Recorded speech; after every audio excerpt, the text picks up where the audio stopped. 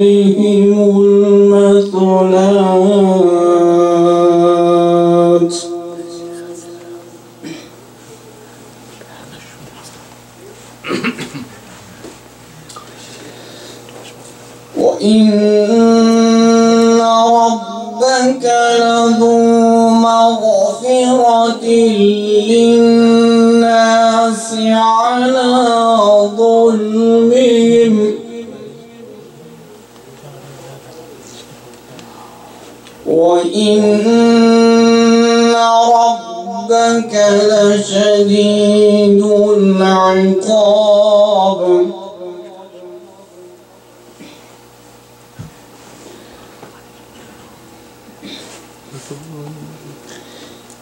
我要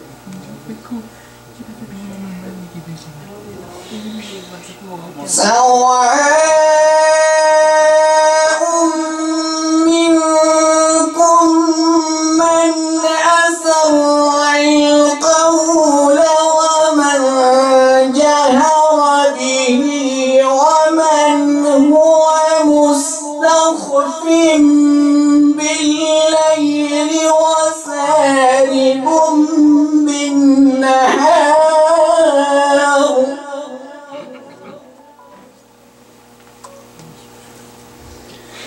له معقبات من بين يديه ومن خلفه.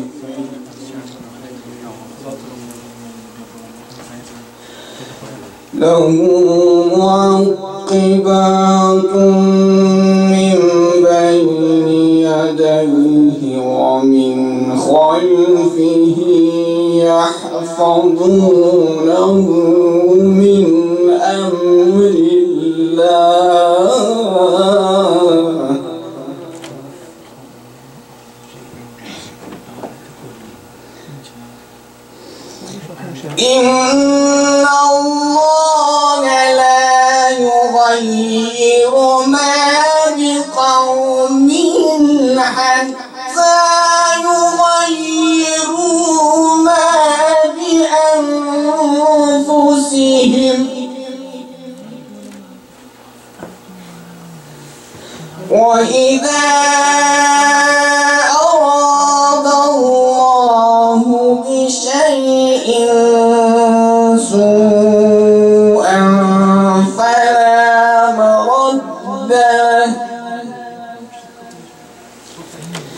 وما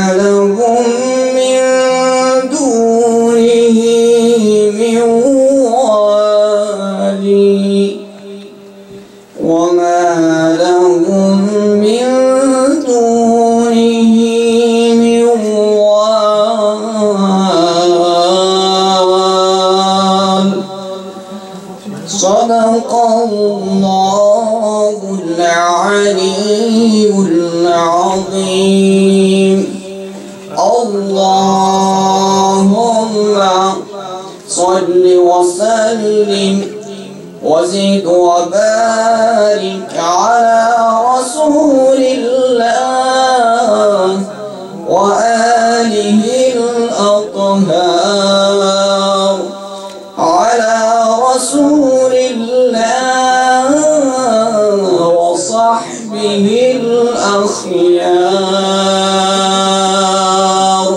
برحمتك يا أرحم الراحمين. محمد أهل بيت محمد صلى الله عليه وسلم. اللهم صل على أحسن طيب الله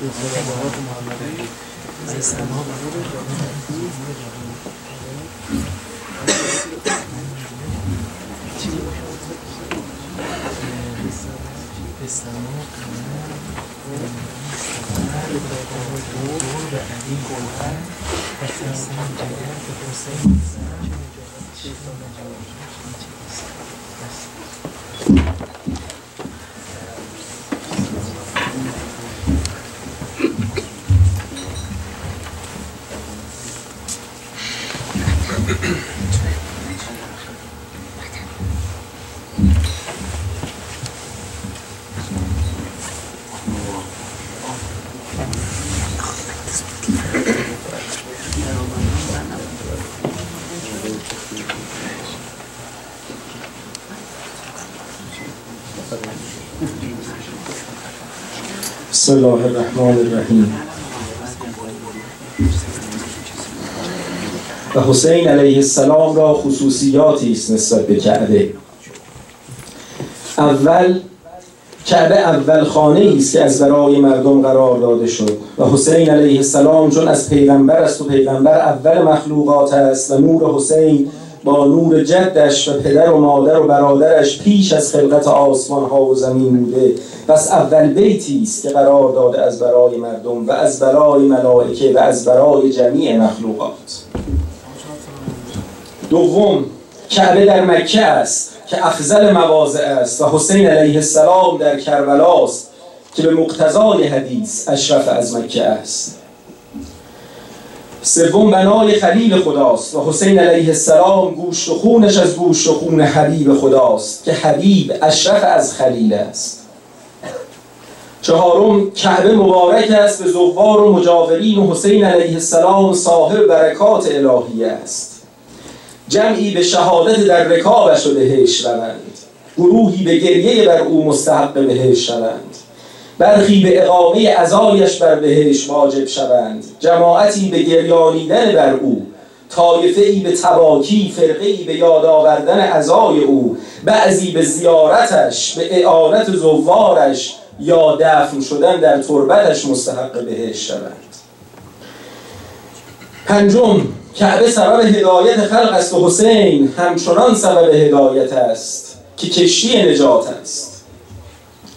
ششم حرم کعبه را از چهار طرف محترم قرار داد و حرام نمود سید آن را و بریدن درخت و گیاه آن را و از برای مدفن حسین علیه السلام احترامی است از چهار جهت که تربتش را محترم نمود و خوردن آن را به جهت شباب تجویز کرد. هفتم کعبه محل امن و امان است و هر کس پناه برد خون او محفوظ می شود و قتلش جایز نیست. حسین علیه السلام نیز مأمن است. حلال نیست خون کسی که به او پناه برد. لیکن بنی امیه حد که حرمت خانه را کردند و حتم حرمت آن جناب شریف را.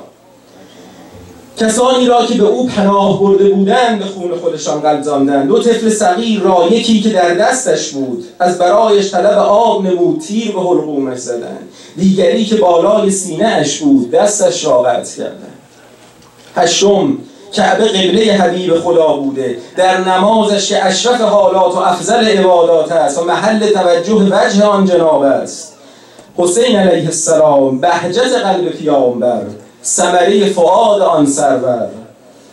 و ریحانه آن جناب است بلکه نفس آن حضرت بوده که حسین منی و انا من حسین.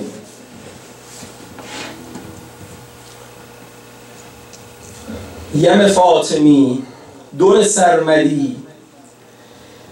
گل احمدی مه هاشمی ز سرادقات محمدی طلعت ظهور و جلالتی. به سما قمر به نبی سمر به فاطمه دور به علی گوهر به حسن جگر به حسین پسر. چه نجابتی چه اصالتی. بنشین لیلا. بنشین لیلا اینطور با چشمهای غم گرفته و اشکبار به من خیره نشو من آتش این دل سوخته را این نگاه غمزده را بیش از این تحمل نتوانم کرد. من پس از پیامبر مرکب علی شدم. پس از آن امام حسن و امام حسین. امام که زلجناه را داشت مرا به علی اکبر سپرد. یعنی دوباره مرکب خود پیامبر شدم که شبیه ترین مردم بود به پیامبر علی اکبر. این است که همه چیز را خوب به خاطر دارم. در کربلا وقتی علی اکبر مرا به میدان برد تا مدتی هیچ کس او را نمی شناخت نقاب به صورت انداخته امامه صحاب بر سر پیچیده. تحت الحلک به گردن بسته. گیسوان سیاهش را به دو کرده. نیمی از دو سوی گردن بر شانه آویخته. نیم دیگر بر پشت ریخته. بی هیچ کلام شروع به گشت زدن در میدان کرد. پاهایش را بر دو پهلوی من میفشرد. با جلال و جبروت میدان را در زیر پایش به لرزه در میآورد. دلهای دشمنان را میان زمین و آسمان معلق نگاه داشته بود. نفس در سینه ها حبس شده بود و همه چشم ها نگران این سوار بودند. انگار سر و گردن سپاه دشمن همه به ریسمانی بسته شده بود. در دستهای او که با گردش او سرها و گردنها نیز میپیچید و دور شمسی او را دنبال می‌کرد. ابر اما ناگهان کنار رفت نقاب به بالا گریخت و قرص ماه تماما پیدا شد. فقان از سپاه دشمن برخواست که والله این رسول الله است. این پیامبر خاتم است این نبی اکرم است. حول در دل ابن سعد افتاد. او سوار را خوب می شناخت اما با گمان مردم چه باید کرد؟ این انفعال و ازمهلال که در سپاه او افتاده بود انان را از دستش می رو بود و کار به فنجام نمی رسید فریاد زد که اینجا کجا و پیامبر؟ عقلتان کجا رفته مردم؟ یکی با صدای لرزان و ملتهب گفت پس کیسان که در میدان ظهور کرده؟ من پیامبر را به چشم دیدم هموس بر قله شباب و جوانی. دیگری قاطعانه فریاد زد کور شوم اگر این همان محمد نباشد که من با همین دو چشم دیدم سومی شمشیر از نیام کشید کشانده ای ما را به جنگ با پیامبر. و ما همچنان چرخ می‌زدیم و صدای ابن سعد به تحقیر و استهزاء یاران خیش بلند می‌شد. دست بردارید از این گمانهای باطل بیدار شوید از این خواب وهم. این که پیش روی شماست علی اکبر است. همان که برای قتل او جایزه های کلان معین شده. من این خاطره را خوب یاد دارم که دشمن دشمن در کربلا برای علی اکبر امان آورد. دشمن گمان می‌برد که دو نفر را اگر از سپاه امام جدا کند کمر امام میشکند. یکی عباس ابن علی و دیگری علی ابن الحسین سپاه امام همه گوهر بودند همه عزیز بودند همه نور چشم حسین. اما گمان دشمن این بود که این امام با این هر دو بال نمی‌تواند کاری کند. پیشنهاد اماننامه آوردند برای آن دو. خواست این دوبار را پیش از وقوع جنگ از امام جدا کند و امام را بیبال در زمین کربلا رها کند. و چه گمان باطلی عباس یک عمر زیسته بود تا در رکاب حسین بمیرد. تا به کربلای حسین بیاید. حالا دشمن این را بهانه کرده بود تا از مسیر قبیله بنی کلاب خودش را به ماه بنی هاشم برساند. پیشنهاد امان به علی اکبرت نیست اگر نه بیشتر به همین اندازه ابلهانه بود. کور خوانده بود دشمن در جهل مرکب دست و پا می‌زد. قلب را از سینه جدا ساختن چشم و بینایی را دوتا دیدن چقدر احمقانه است. علی تو همان دم اول. شمشیر یأس را بر سینهشان فرو نشاند و فریاد زد. من نسب به پیامبر می‌برم آنچه افتخار من است قرابت رسول الله است. باقی همه هیچ. مقام سقایت در کربلا از آن عباس است. ماه بنی هاشم بدون تردید.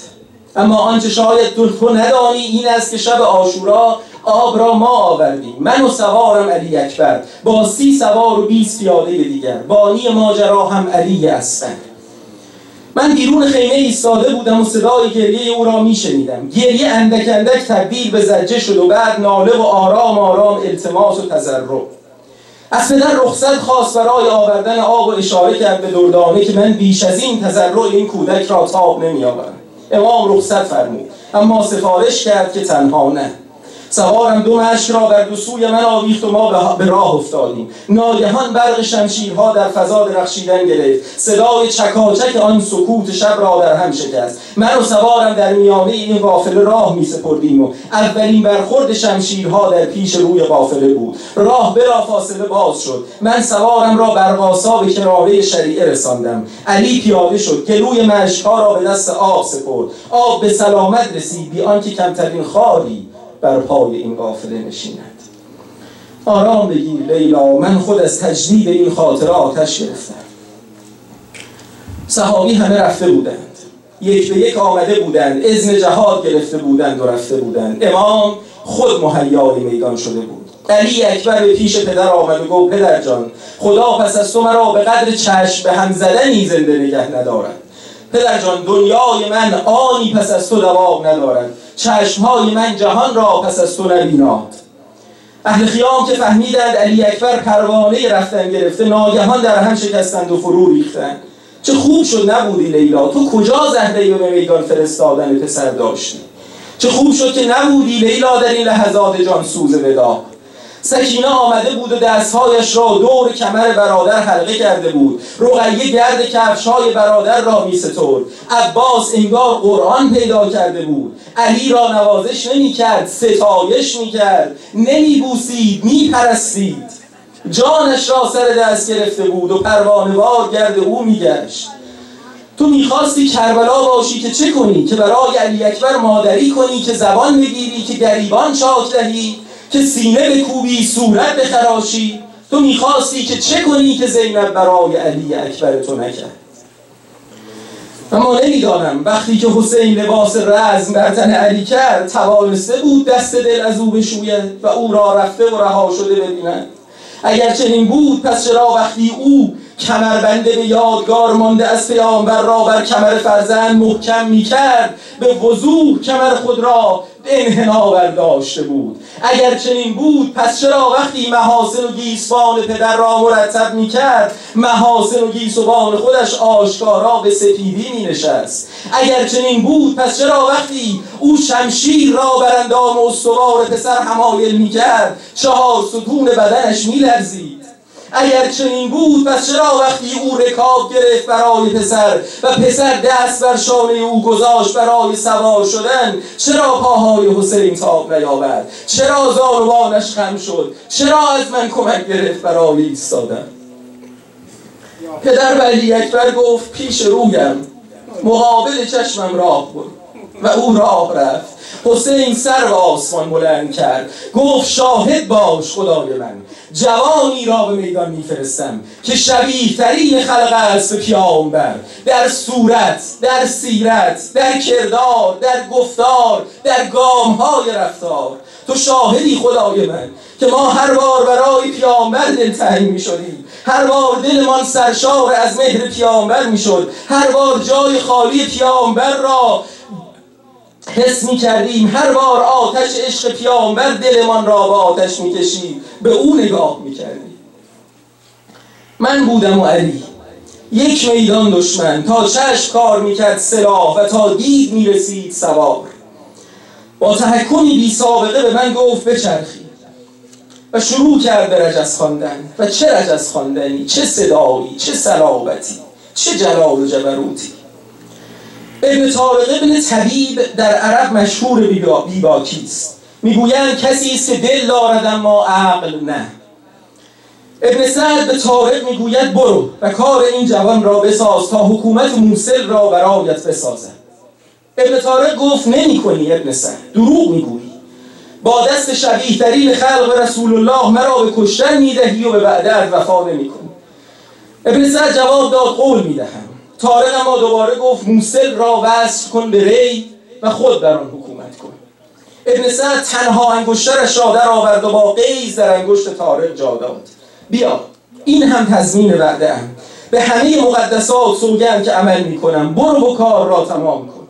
طارق مثل برق آمد. از کنار ما گذشت. ولی من فقط حس کردم که سوار من قدری خود را به سمت راست کشید و به جای خود بازگشت. وقتی افسار مرا برگردان دیدم که نیزه علی بر سینه طارق فرو رفته. وحشت مرگ بر سپاه دشمن سایه انداخت. ناگهان دو سپاه هزار نفری را دیدیم. از دو سو به سمت ما پیش می آیند ابن سعد که دیده بود عاقبت چون این جنگی شکست محتوم است دو هزار تن را به نبرد با یک تن گسیل کرده بود. هزار نفر به سرداری محکب ابن توفی و هزار نفر به فرماندهی ابن نوفل. لعنت خدا بر اون دو. جنگی در گرفت. بیکاری شروع شد. پس از مدتی وقفه ای در جنگ افتاد. این فرصتی بود تا دوباره علی نفس در نفس با پدر روبرو شود. اما چه روبرو شدنی پسری زخم خورده مجروح خونالود لبها از تشنگی به سان کبیر اتش دیده چاک چاک با پدری که انگار همه دنیاست و همین یک پسر. علی به امام گفت پدر جان اتش دارد مرا می‌کشد. حسین پاسخ داد پسرم عزیزم نور و چشمم. سرچشمه رسول الله در چند قدمی است. چشم بپوش از این چشمه. به زودی من نیز به شما میپیوندم. آبی بر آتش. انگار هر دو قدری آرام گرفتن دوباره مرا به میدان برد. گشت زدیم گشت زدیم. چرخیدیم و چرخیدیم. رجز خواند و مبارز طلبید اکنون فقط شمشیر او بود که به هوا می‌رفت. سر و پیکر جنازه بود که بر زمین میافتاد.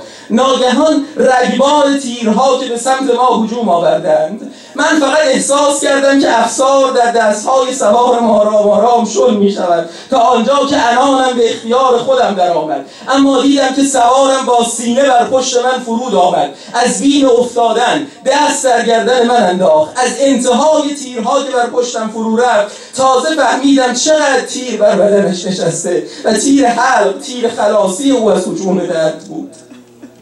التماس نکن لیلا من اینجای ماجرا را تا قیام قیامت نخواهم گفت. همینقدر بگویم که اگر خون فرزندت چشمهای مرا نپوشانده بود من اسبی نبودم که سوارم را به میانه سپاه دشمن ببرم. آخر چگونه ببینم وقتی خون جلوی چشمانم است؟